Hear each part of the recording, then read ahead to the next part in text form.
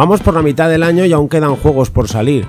En este top 6 vamos a hablar sobre los shooters en dos dimensiones que han salido o van a salir durante 2015.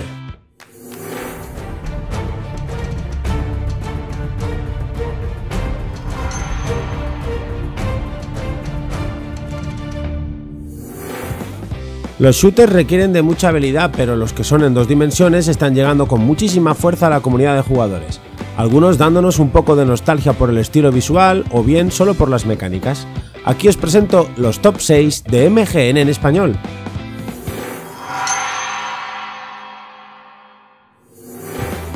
Nuclear Throne es un shooter genial, y no solo por la cantidad de armas al azar con las que cuentas, los niveles o las criaturas, sino porque cada vez que disparas una de esas armas te sientes increíble. Este título solo puede mejorar conforme adquieres más niveles y muchas más armas.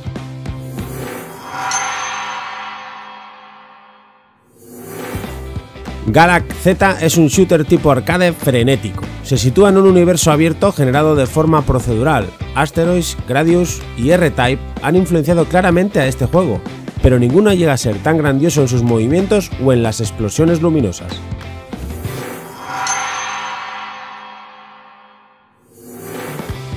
Ahora todos en pie y aplaudamos a Fistful of Gun, un shooter de vista aérea con acción cooperativa. Este shooter envuelto en un tema del viejo oeste soporta hasta 9 jugadores en línea o locales, con una extensa variedad de personajes y clases a utilizar. Cada personaje o clase es controlado por un esquema diferente, dependiendo del arma que esté utilizando.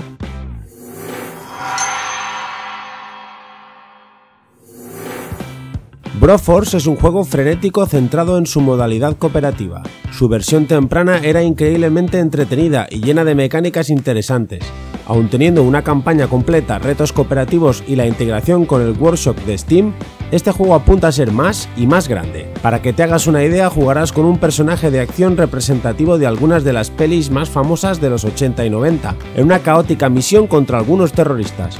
Explosiones, masacres y un locutor eufórico es algo que tendrás asegurado.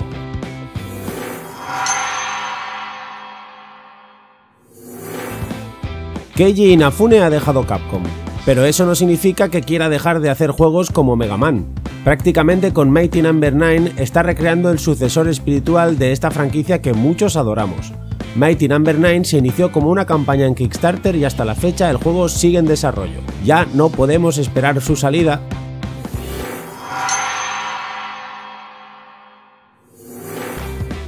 Y en el puesto número 1 está Hatred. Sí, así es, Hatred, este juego tan polémico que ha sido catalogado como uno de los juegos más sádicos de nuestros tiempos. Incluso ha sido acreedor de algunas censuras y restricciones en ciertos países. Curioso, ¿verdad? Este juego fue uno de los más esperados antes de su salida, y si ya lo has jugado, ¿cuál es tu opinión sobre el juego? ¿Es cierto que es tan violento como se dice?